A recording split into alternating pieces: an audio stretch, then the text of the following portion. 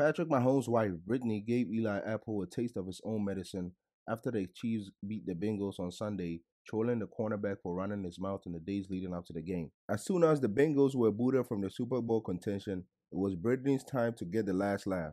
Brittany tweeted Cancun on 3.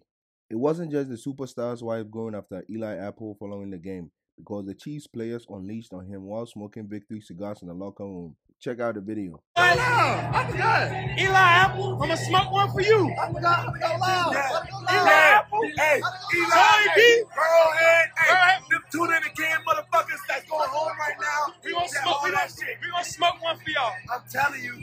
I'm telling hey, hey, hey, hey, hey, and I did everything I said I'd do. I locked down. Niggas ain't getting shit. Niggas ain't getting shit. Eli Apple was oozing confidence on social media after the Bengals eliminated Buffalo last week, channeling his inner Patrick Beverley and telling the Bills players to enjoy their early vacation as the Cincinnati Bengals moved on in the playoffs. After the game, Marquez Valdes-Scantling also took time to clown Eli Apple in a post-game interview. Check out the video. People don't realize because it doesn't show up in the stat sheet.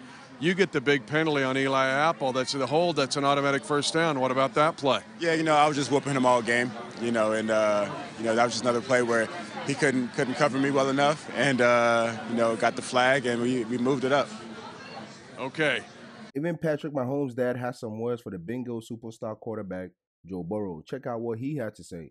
You got a cigar on your own, I see. Yeah, I'm smoking the Joe Burrow. You smoking on the Joe I'm Burrow. smoking on the Joe Burrow. you How's it feel to be headed back to Super Bowl? Uh, it feels great, you know. You know, my baby boy did what he always do. You know, he gonna show up and, and show out, and I'm just glad he did it. The Chiefs played like they were pissed off, and Travis Kelce and others made it clear they felt disrespected by Mike Hilton, referring to Arrowhead Stadium as Burrowhead.